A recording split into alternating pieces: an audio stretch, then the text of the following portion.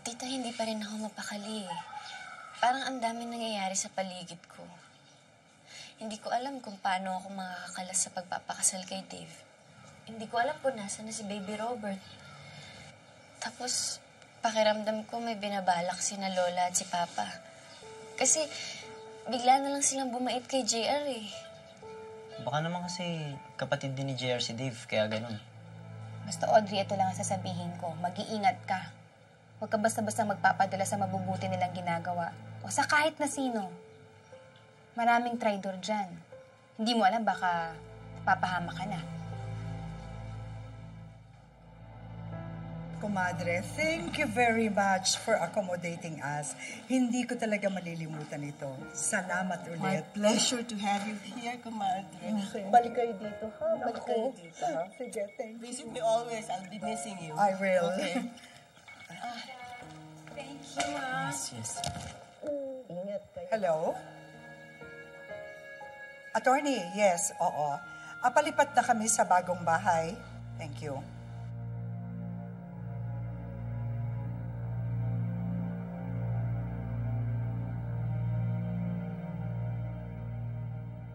Diba, sasabi ko na sa inyo, pupunta ka doon sa Dave. Ano pa kakawak mo dito? Eh, Papa, Oh, hindi na nga po ako nakapasok sa trabaho kahapon. Nakakahiya naman po. Sinusweldohan ako dito pero hindi ko po pinagtatrabahuan. Audrey, mas gusto ng Ingrid at ng Elizabeth, ikaw sasama mo sa Dave. Kaya sige na, punta na doon.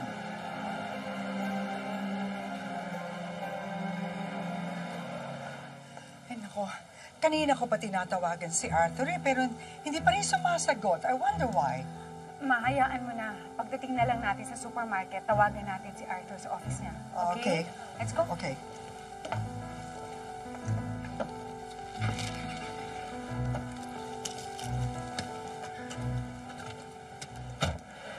Audrey.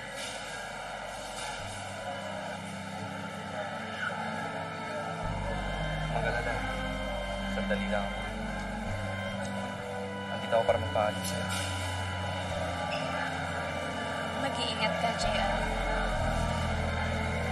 Nalagaan mo sarili mo. Basta ipangako mo, JR. Babalik ka. Para kanina. Basta bumalik ka. Para sa mga nagmamahal sa'yo. Para sa pamilya mo. Para sa akin.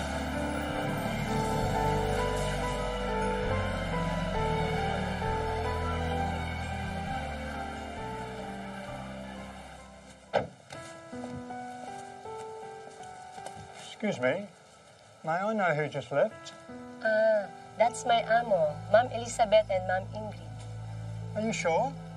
Isn't that Marlene? Marlene? She's not Marlene. She's the owner of the house here. She's Ingrid Garcia.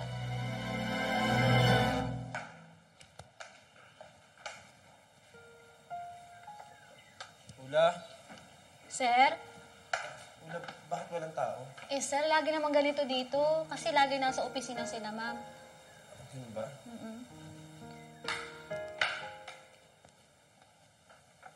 Eek!